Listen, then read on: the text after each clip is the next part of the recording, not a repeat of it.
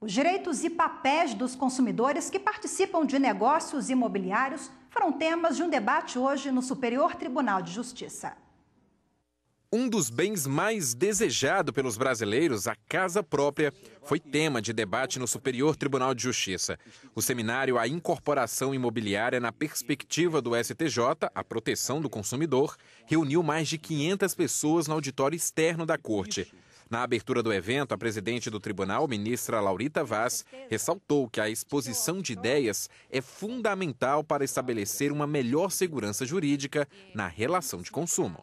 Sob todas as perspectivas, há enorme interesse, tanto dos incorporadores como dos consumidores, em buscar segurança jurídica, a partir da consolidação da jurisprudência do tribunal constitucionalmente responsável justamente por uniformizar a interpretação da legislação infraconstitucional. Com foco na proteção do consumidor, ministros do STJ e especialistas falaram sobre as distinções entre consumidor, investidor e crédito imobiliário para aquisição de imóveis, a evolução da jurisprudência sobre o assunto e os julgamentos do STJ.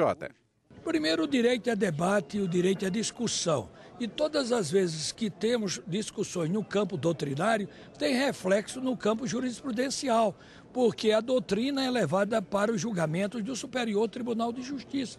E o Superior é um tribunal de uniformização.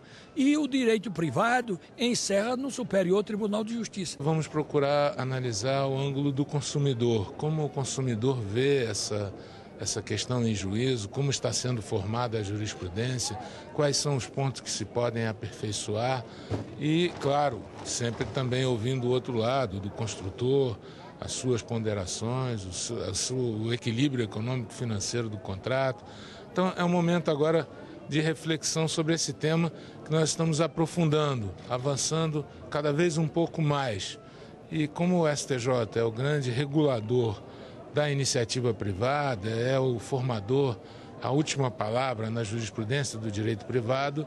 É, esse é um momento justamente de pensar a jurisprudência que vem sendo formada e imaginar aí o que nós podemos aperfeiçoar.